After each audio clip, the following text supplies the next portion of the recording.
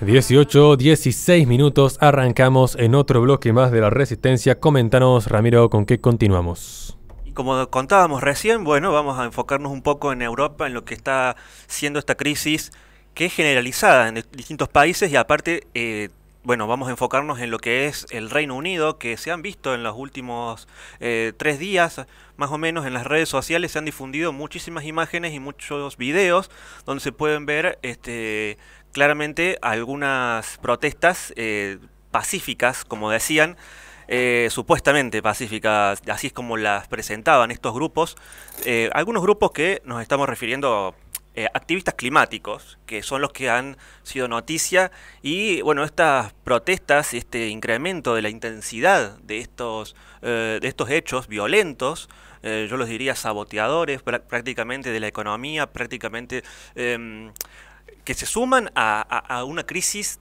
económica, una crisis económica financiera, una crisis social, una crisis política. Bueno, acaba eh, la primer ministra Liz Truss acaba de decir que ella planea quedarse en el gobierno eh, porque, bueno, es una mm, primer ministra que asumió eh, justo antes de que falleciera la reina de Inglaterra y esto ha sido en septiembre. En septiembre, se, bueno, ella asume comienza a tener una serie de, políticas que de, retrocesos, de avance y retroceso, es decir, políticas que eh, no eran, sobre todo, principalmente económicas, a lo que me refiero, salvo, el, por ejemplo, a nivel internacional, el cambio principal que ha hecho el Reino Unido respecto a la política internacional que ha puesto a China como una amenaza.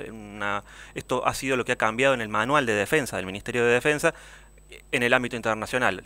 No tanto como hacía como era Boris Johnson, que había dicho que eh, con China había una situación moderada, no una situación de amenaza, pero bueno, en a nivel económico también problemas con los fondos de pensión, en el que manejan las pensiones, eh, posible, bueno, las, las quiebras de las este, distintas empresas energéticas, aproximadamente unas 15 empresas energéticas han quebrado en el Reino Unido y esto está desembocando en una crisis que se está agravando mientras, claro, se acerca, estamos en otoño en el hemisferio norte y se acerca el invierno.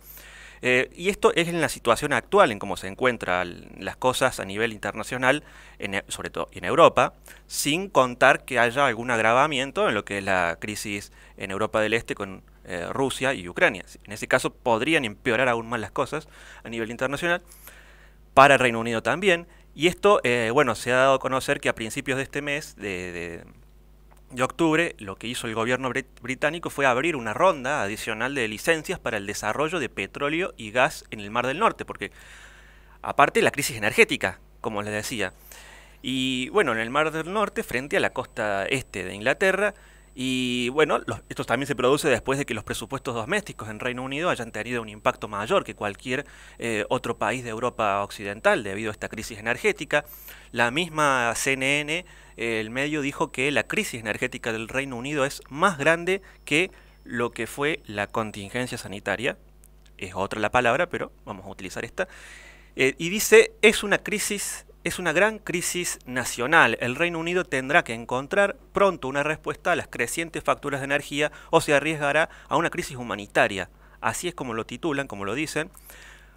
Eh, pero congelar, dice, los precios del gas y electricidad durante los próximos dos inviernos podría costarle a este gobierno más de 100 mil millones de libras, unos 118 mil millones de dólares. También han tenido problemas, por cierto, con la libra y el, y el dólar estadounidense, las diferencias, eh, casi llegando a querer alcanzar la paridad, más de lo que, bueno, más de lo que gastó pagando los salarios de millones de personas durante lo que decía la contingencia sanitaria. Esto es más o menos eh, lo que se, los indicios de lo que significa esta crisis en Reino Unido. Eh, también, bueno, esto no convence a los manifestantes contra los combustibles fósiles en Gran Bretaña porque, claro, han salido de, sobre todo en los últimos 14 días, pero se ha visto los ataques y los sabotajes, los eh, hechos vandálicos de, estos delincuentes. Sobre todo, la mayoría se ve eh, mujeres, excepto un caso, pero bueno, es muy particular porque el caso de un eh, manifestante que arrojó pintura con, con, aerosol, un aerosol a, la sede de, a la sede principal de Aston Martin en Londres, Claro, contradiciéndose un poco porque arrojan la pintura y ellos pelean contra el cambio climático, bueno, mucho no, no, no se no se condicen los hechos con lo que, con lo que ellos proponen ¿no? y de la defensa. Eh, estamos hablando principalmente de, un individuo que está asociado con el grupo activista Just Stop Oil. Eh, han aparecido las remeras de estas personas. Bueno, este chico, por supuesto que lo que decía, digo, la mayoría son mujeres, en este caso estaba vestido eh, como una mujer, o sea, tenía un, lo que se dice un top este, y un vestido, bueno, eh, también hubo varios eh, comentarios al respecto de, su vestimenta.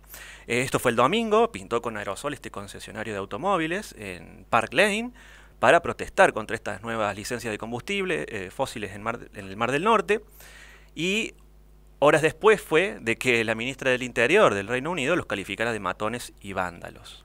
Por cierto, hablando del gobierno, digo, probablemente Listras también este, se tenga que ir en unas 48 horas aproximadamente, esto es lo que dicen los medios de Inglaterra, eh, distintos medios, eh, porque eh, la, sacarían del poder los mismos parlamentarios Tories conservadores, es decir, para como para grabar un poco más las cuestiones y llamar a tener que llamar a elecciones generales. Eso es lo que podrían pedir de parte, sobre todo de la oposición del Partido Laborista. Y la ministra del Interior, eh, Braverman, dijo que estaba presentando una legislación más estricta eh, durante esta semana para contrarrestar las protestas ciudadanas de grupos como el que nombré recién o el otro más reconocido y más eh, famoso, Extinction Rebellion, que se, bueno, realizan todos estos actos vandálicos, como por ejemplo también incluso el cierre de las carreteras, de las rutas, de las calles, donde ellos Mm, se, colocan en las calles, se sientan y no permiten que los automovilistas eh, puedan pasar. Eh, también el tema de afecta en la cadena de suministros. También eh, se vio en bueno un hecho vandálico en un supermercado de Escocia donde mujeres también están los videos, pueden encontrarlos en la resistencia radio.com en la web o en nuestro Twitter o Instagram. Y bueno, arrojaban la leche de un supermercado, varias este, eh, botellas. Eh, también tenemos otro caso que salió y se difundió demasiado, fue el caso en la, Galería de Arte Nacional en Londres, donde mujeres se este, arrojaron una lata de sopa sobre el cuadro de los girasoles de Van Gogh. Esto también, es decir, el cuadro está a salvo porque estaba protegido por un vidrio pero eh, bueno, se, pegaron, de, luego se pusieron pegamento y se pegaron a la pared. Eh, bueno, todos estos videos se están difundiendo en los últimos días y como, claro, necesita el Reino Unido eh, salir de esta crisis y por lo cual realizan esta, este pedido y este llamado de licencias para eh, la búsqueda del, petróleo que necesitan. Y bueno, por otro lado, la ministra dijo no me doblegaré ante los manifestantes que intentan pedir rescate al público británico. Esto es lo que, eh, lo que dijo el día domingo. Esta perturbación grave y peligrosa y mucho menos el vandalismo no es una libertad de expresión ni un derecho humano. Dijo que debe cesar. Eh, Just Stop Oil, que es un grupo activista climático en Reino Unido, es donde se ven... Mm, mayor la cantidad de una mayor cantidad de hechos de este tipo, ¿no? que utilizan, utilizan la resistencia civil para exigir que el gobierno del Reino Unido acepte poner fin a toda una nueva producción de petróleo y gas. Eh, y bueno, todo esto se lanzó el 14 de febrero, esta organización, el 14 de febrero de 2022 de este año, y según este grupo activista, el petróleo y el gas eh, nuevos provocarán pérdidas de cosechas, escasez de alimentos eh, y el colapso de la ley y el orden. La civilización humana, tal como la conocemos, está al borde del colapso. No nos detendremos los mandatos judiciales que pretenden, eh, no nos van a detener los mandatos judiciales que pretenden detener o silenciar estas protestas. Son un, somos un movimiento de desobediencia civil no violenta, dicen. Sabemos que los cambios en la ley, los mandatos judiciales contra nosotros son irrelevantes en comparación con la hambruna masiva, las políticas genocidas que nuestro gobierno está impulsando con 100 nuevas licencias de combustibles fósiles en el Mar del Norte. Bueno, esto seguramente continuarán estos hechos vandálicos y estas, eh, bueno, me hace recordar a lo que dijo el superintendente hace unos cuantos meses, un ex superintendente de la Policía de Londres que dijo que veía al Reino Unido entrando en una espiral de anarquismo eh, como para sumarle aún más leña al fuego a esta situación peligrosa que está viviendo el Reino Unido. Bien, le recordamos a la gente que este programa se transmite por twitch.tv barra la guion bajo resistencia. Posteriormente sube al canal de YouTube de la Resistencia Radio, donde en la descripción de los videos tienen nuestras redes sociales para que se comuniquen con nosotros en caso de que quieran colaborar con este espacio. Vamos un corte y enseguida volvemos con más resistencia.